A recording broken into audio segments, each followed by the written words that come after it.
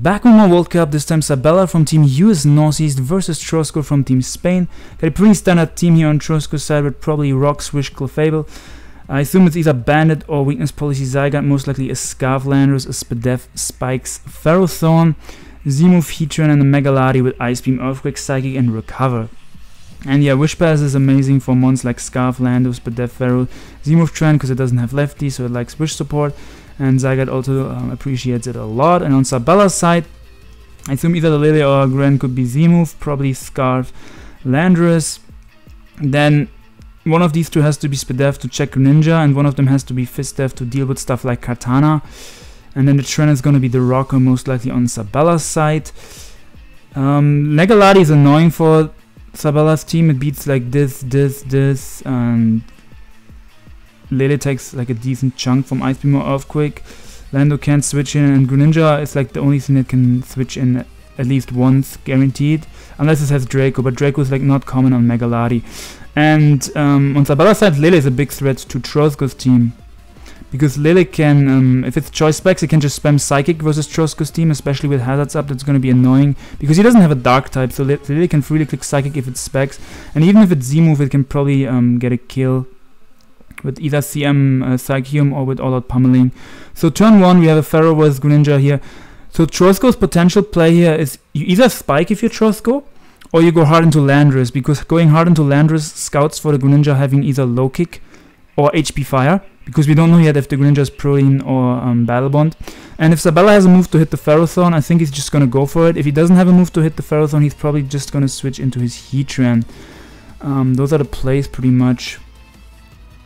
He does go hard Heatran, which means he most likely doesn't have a move to hit the Ferrothorn. Now one of the two Heatran checks has to come out, which is either the Mega Megaladi or the Zygarde. I assume Sabella's just gonna get the rocks up. Zygarde does come out. Um, most likely Tangrowth or Landorus is gonna come out here for Sabella. Trosko doubles into Clefable anticipating um, either Lando or Tangrowth to come out and I assume Trosko just wants to get the rocks up. Sabella can either go for knockoff here to get rid of the Clefable's leftovers or he can switch out into either the Heatran or the Tapu Lele. Um, most likely Tapu Lele I think is a good play because it puts a lot of offensive pressure. Like I said, he has no dark type, so if it specs, it just clicks that psychic stab, and something takes a lot of damage. And especially because Trosko cannot really um, like Trosko cannot really go Ferrothorn on the Lele ever because he needs the Ferrothorn to check the Greninja. So yeah, I'm pretty sure Trosko's just gonna get the rocks up here. And like I said, either knockoff is gonna come out or a hard switch into Lele or Heatran from Sabella's side. Most likely Lele because it offers more offensive uh, pressure. And Trosko has no guaranteed switch into it. So Lele comes out expecting the rocks. As the rocks go up, I'm pretty sure you just click your Psychic Stab, no matter if it's Psychic or Psyshock. Because even if the Heatran switches in, next turn, um, like you, you weaken Heatran, and if it's not lefties, if it's Z-move, it gets chipped a lot with rocks and with Psychic Terrain boosted um, stab from the Lele. And if the Clef stays in, it might just get blown away, so... And like I said, he can't really go Ferro on this because um, that's his main Greninja check. So it's either stay in here or go into Heatran. Because like, Clefable is kind of useful, but it's not that great to have. Like, he has like it's good for the Tangrowth and it's good to pivot into the Toxapex, but Megaladi can also do that, so he doesn't really need the Clef for that. Um, the only reason that, uh, why the Clef would be valuable is um, it's a good Scarf Lando check, and it also is a good check for um, if the Greninja is Ash and it, the Ferrothorn gets low, then Dark Pulse is a huge problem for Trosco because Greninja can get Battle Bond and potentially sweep him. So having Clef around for that as a Dark Resist can be useful. But other than that, Clef is not too too useful, so you might just stay in, or like I said, go Heatran. Those are the only plays. And yeah, you just click your Psychic Stab if you're um, Sabella Barb. That's definitely choice specs Tapu Lele, and the Clef just goes down. So now we're gonna see either the Heatran or the Ladi come out here, most likely from Trosko's side. So Ladi comes out, and Ladi is um, super annoying for Sabella. So either Ice Beam or Earthquake is gonna come out um, because even like Greninja can switch in once, but it has to take rocks, spikes, and ice beam or earthquake. So like it's not a good switching at all. So like Sabella only has two plays here. It's either stay in, click Psychic again, um, which means you'll probably lose your Tapu Lele in the process unless you get a Spadef drop, because this, if Psychic Terrain runs out, Psychic is not going to do enough to the Mega Lati in the long run. Um, but yeah, this Psychic, if uh, Sabella stays in, is going to do a lot to Mega Lati, because Mega Lati usually runs minus Spadef, because it still checks stuff like Heatran that it needs to check with minus Spadef, and you usually don't want to be minus defense, so that way you can check stuff like Kartana better, you can take U-turn from Scarf Landorus better if you're not minus defense, so they usually run minus Spadef Mega Latis. But yeah, I assume we see Ice Beam or Earthquake here, probably Ice Beam from Trosko's side, and Sabella decides to stay in, so he just spams Psychic, he's obviously um, locked into that, and does 58, but yeah, Trosko can click Recover, and Psychic Terrain ends in a few turns, which means um, Lati beats this 1v1, unless the Lele gets a Spadef drop. So you can see that Ice Beam does a good chunk. And at this point the Lele is low. And I'm pretty sure Sabella is just gonna stay in with the Lele. So there's the Roost. Psychic comes out 56. Gets a Spadef drop, which means the Lati is forced out here. Pretty sure Earthquake um, or Ice Beam both don't kill. So now he's forced into um, Ferrothorn or Heatran. But yeah, Ferrothorn comes out. That's uh, that's annoying for Trosko. There's another Spadef drop. That doesn't matter too much. Uh, Psychic Terrain, NC, and the Lele is going to be forced out anyway. Well, I guess Sabella can potentially attack again and weaken this for Greninja, but now that... Yeah, I think you want to switch out now and still keep the Lele around. Uh, so what do you what do you switch into here? You switch into either Heatran or Landorus if you're Sabella, and if you Trosko, you either click Leech Seed or Power Whip um, yeah, knockoff, knockoff is an option as well. Knockoff, leech seed, power, one of the three are options. So Landorus comes out. Um, I'm thinking Sabella wants to get off a defog. That's like the main reason why you would go Landorus. Chipping Landorus is nice because it's one of the Zygarde checks, so that's nice for Trosko. So I think Sabella is just going to defog. Trosko can uh, either leech seed or spike here. Uh, most likely you, want to spike here because you want to chip um, yeah, you want to chip Sabella's team, and if you especially chip down Greninja, Mega Lati can potentially win you the game. So now the Heatran is the Landorus is locked into defog. It's pretty obvious that it's Choice Scarf. So Trosko can potentially pull a double here. Uh, I think double into Mega Lati is a good play because Mega Lati, like let's say Sabella wants to go into Toxapex, Heatran or Tangrowth, all three that would come in on Ferrothorn. If you double to Mega Lati, you cover all of them. And if you get Lati in on Tangrowth or Toxapex, you can potentially get a recover up. If you get it in on Heatran, same thing. So Heatran comes out, does he go Lati? No, he doubles into Landorus, also a fine play. So I think he's gonna just click U-turn here, expecting um, a switch into Tangrowth or Landorus from Sabella's side. Let's see if Sabella wants to um, pull a switch. He does have Protect, so Sabella doesn't have to play um, like he can just click protect, see what Trosko locks himself into, and I assume he can just get his rocks up here knowing that the Landorus is locked into U-turn. Zygarde comes out, so now Sabella has to go into either Tangrowth or Landorus. Um, Trosko is either just gonna attack or double out. He could like if he gets a double into Lati on the Tangrowth, that would be good for him. But yeah, Sabella goes into Lando. I think that's the the, the reason why I like the Landorus play is because if Trosko doubled to Lati, they're breaking the Tangrowth, then Trosko could have recovered with the Lati.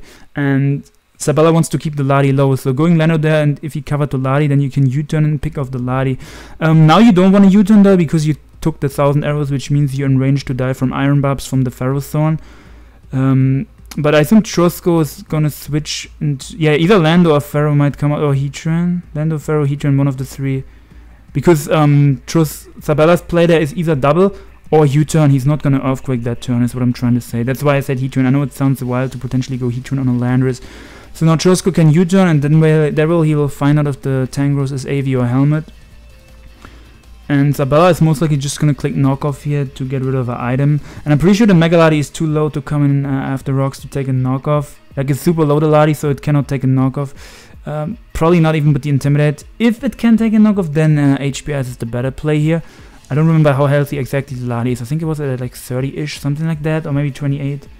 Don't really remember, but I assume knockoff is overall the best play. So Ferrothorn comes out, and knockoff gets rid of the leftover. So Greninja just became more threatening. No lefties on the Ferrothorn. He doubles out into Heatran, anticipating the anticipating the Toxapex to come out. I, th I think that's what he predicted. Um, and yes, Sabella went for Focus Blast. which hits the Ferrothorn and also covers the Heatran switch in. So Focus Blast, the reason why you run that on Tangrowth, it is to Oko Kartana.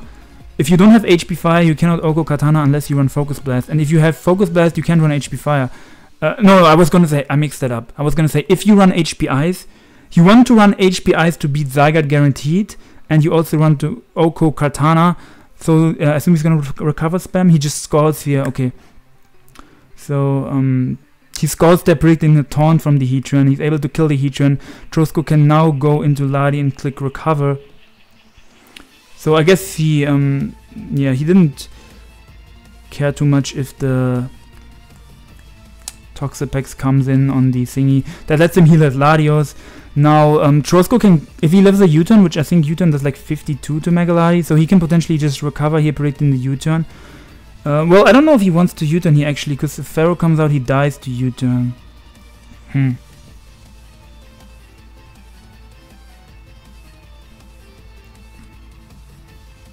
Well, that might that might be fine for Sabella because the what's it called? The Ferrothorn, if that Ferrothorn gets weakened even more, then Greninja kinda just runs through Trosko's team. The only way he can check the Greninja with his Ferrothorn being low. He doubles into Heatran breaking the Ferrothorn. Okay, calm down, buddy.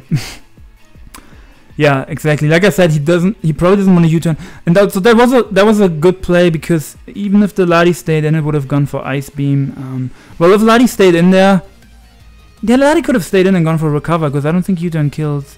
But yeah, Lava Plume gets a burn. Um, so he's probably Spadeftran, because he's um protect Lava Plume uh, Tran with leftovers. So he makes a good play there, Trosko. Um, he can just uh, Ice Beam here, I guess? Yeah, exactly. So um, Sabella predicted him to go for Recover and went hard into Landorus. But yeah, now the Greninja comes in and Greninja just claims a kill. I assume this has... It's either Dark Pulse Battle Bond or Ice Beam, Protean, one of the two. And pretty much no matter what, he gets a kill with Greninja here. So he's Ice Beam Bob. And um, Trosko has to go into his Landorus to force this out. Because I think the Ferrothorn is pretty weakened. I, I, don't remember how low the Ferrothorn is. But yeah, I assume um, the Tangrowth comes out here from Sabella's side. Because if the Landorus goes for U-turn, it gets chipped from Rocky Helmet. And it also gets chipped every time from Rocks. Um, he might just click quick because he doesn't want to potentially let... Um, he doesn't want to take Rocky Helmet from the Tang. But the Tang is like risk-free for Sabella. No matter what Trosko does here. Trosko can potentially double into Mega Ladi again, expecting the Tangrowth. Also, earlier I mixed up my words, like... Uh, so the reason why you run Focus Blast on Tang is... If you have HP Ice to deal with Zygarde, but you still want to Oko Kartana, then you run Focus Blast. Because you obviously can't run Hidden Power Fire if you have HP Ice already. I don't know why that was so hard for me to explain earlier. Mixed up my words. But I think Sabella always goes Tangrowth here. You never stay in with the Greninja because the Greninja pretty much gets a kill when it comes in on the Ladi. I don't know if it gets a kill on the Ferrothorn because I don't know how healthy the Ferrothorn is, but I'm pretty sure Ferro might be in range as well. So doubles into Ladi, expecting the Tangrowth. Um, Sabella goes Heatran. Okay, so he goes Heatran there because um, one, he doesn't need the Heatran to win, or two, he predicted a U-turn. So he just goes for Lava Plume, expecting the Roost. He can potentially get a burn. So I assume Trosko is um, just gonna click Earthquake here. Sabella can either sack the Heatran or sack the Lele. So he does eat that up. So as soon as Lava Plume comes out again, does he not have Toxic or why is he clicking Lava Plume? Or he might just want guaranteed damage because Toxic can potentially miss. So the Ladi even if it recovers, I think Protean Greninja always comes in after the Heatran dies and gets a kill with Ice Beam because like I said earlier, Ladi usually runs minus Spadef Mega Ladi. So yeah, I'm pretty sure uh, Sabella has this game wrapped up.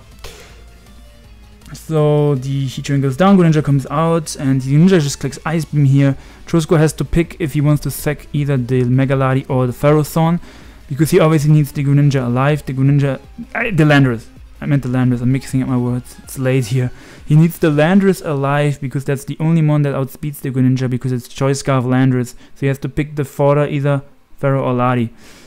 And even though the Lando, yes, it can force out the Gren, it has to take rocks every time it comes in. It gets chipped and Sabella has one more sack and he can just um, go Tang or Pex whenever the um, Lando comes out.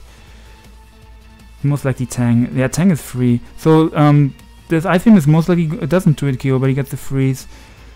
Actually, it does 2-hit KO because he knocked off the leftovers earlier. I assumed that the leftovers are gonna bring it in range where it doesn't 2-hit KO, but yeah, I would have 2-hit KO'd anyway. Landorus now forces out the Greninja, and yeah, Trosko has to pretty much hope that Sabella stays in here and throws the game, but Sabella shouldn't do that. You can just go Tangrowth here.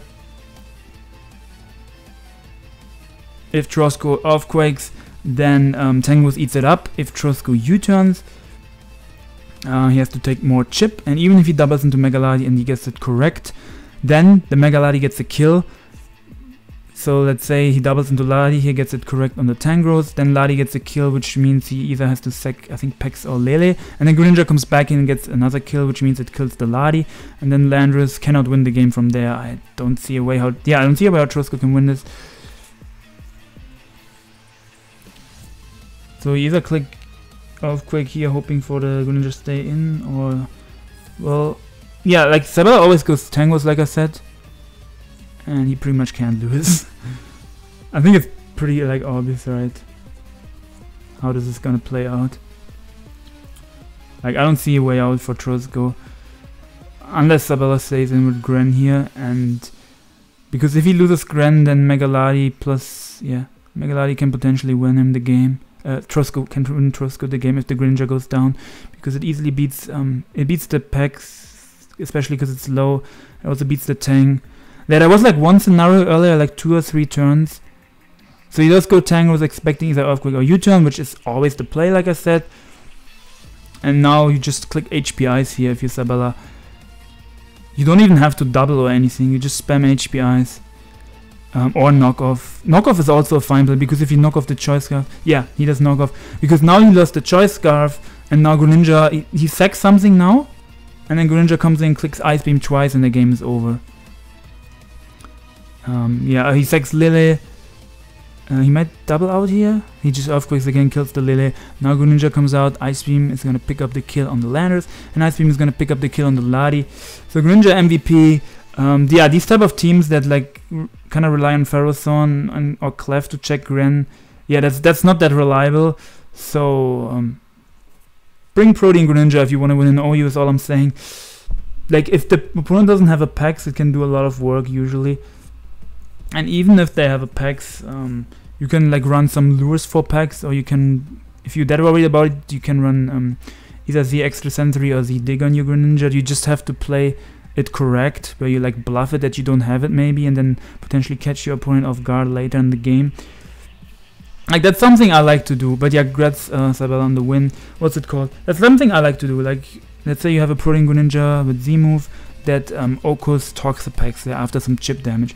Then I'd usually um I'd usually always if I if I have Greninja in on Pex, I'd always double it out. I would do that like three or four times, and I like I would try to make my opponent think that I can't touch his Pex, and I have to do that. You have to do that multiple times just so they think he can't touch me.